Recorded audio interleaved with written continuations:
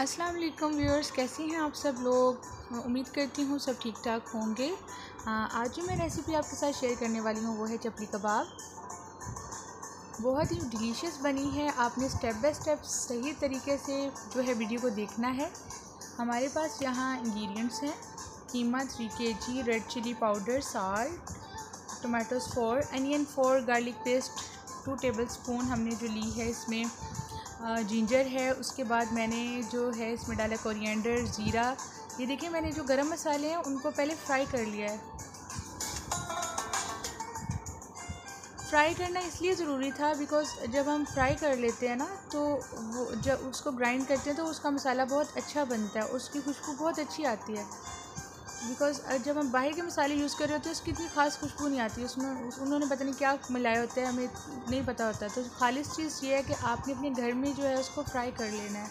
तो वो अच्छा टेस्ट देता है।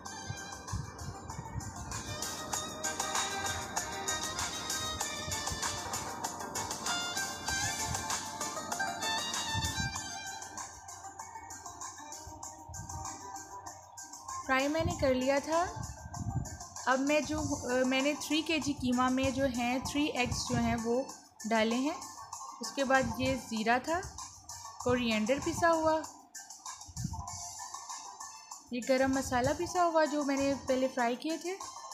ये थोड़ा सा मैंने जस्ट सेक ऑफ़ टेस्ट जो है, वो शान चपली कबाब मसाला थोड़ा सा ऐड किया, ज़्यादा नहीं। ये गार्लिक पेस्ट है जिंजर पेस्ट है ग्रीन चिली है और अनारदाना है, पिसा हुआ। हम इसमें ऐड कर देंगे। उसके बाद मैंने कीमे में है कॉर्नफ्लोर ऐड किया है। यहाँ मैंने थ्री से फोर टेबल स्पून जो है वो कॉर्नफ्लोर लिया है। कॉर्नफ्लोर का ये फ़ायदा होता है क्योंकि इससे जो है आपके कबाब जो हैं वो टूटते नहीं हैं। कुछ लोग इसमें चने का आटा भी डालते हैं तो उससे भी टूट रहे होते हैं। तो आप इसमें जो है कॉर्नफ्लोर डालें तो बहुत अच्छे से आपके कबाब जो हैं वो बन जाएँगे और वो टूटेंगे भी नहीं। सबसे एंड में हमने टोमेटो एंड अनियन जो है वो ऐड करने हैं। बरीक कटे कटे कटे हुए लेने हैं, आपने कट करने हैं बरीक, बिल्कुल। और सबसे एंड में उसको आपने जो है ऐड करना है अच्छे से।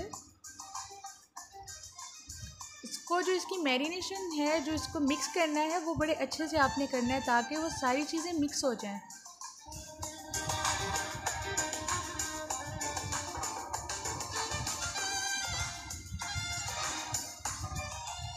मुझे लग रहा था थोड़ा कॉर्नफ्लोर जो है वो कम आ, हो रहा था। मुझे मैंने इसे फ्राई करके देखा तो वो नहीं हो रहे थे मिक्स तो थोड़ा सा मैंने कॉर्नफ्लोर जो है वन टेबल स्पून और ऐड कर दिया।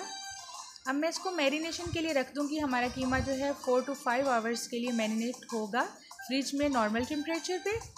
फ्रीज़र नहीं रखेंगे हम फ्रीज़र में नहीं रखेंगे ओके ये देखें व्यूअर्स कितने मज़े के हैं। इसको मैंने अपने हैंड्स पे आपने रख के ना अच्छे से प्रेस करना है और इसको बहुत मोटा मोटा नहीं करना क्योंकि स्किप हो जाते हैं ना श्रिंक हो जाते हैं वो।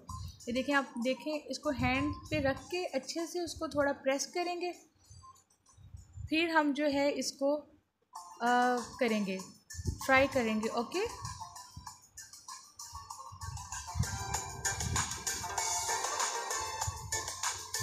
आपने फ्लेम जो है वो मीडियम रखनी है। मीडियम से भी थोड़ी स्लो रखनी है क्योंकि कच्चे कीमे के कबाब हैं तो फिर वो सही से पक जाएँ।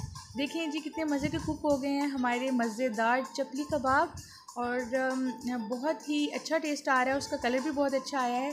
तो मैं आपसे रिक्वेस्ट करती हूँ कि अगर आपको मेरी वीडियो अच्छी लगी है तो सब्सक्राइब करें मेरे चैनल को और मेरी वीडियो लाइक करें और शेयर करें। अल्लाह हाफिज़।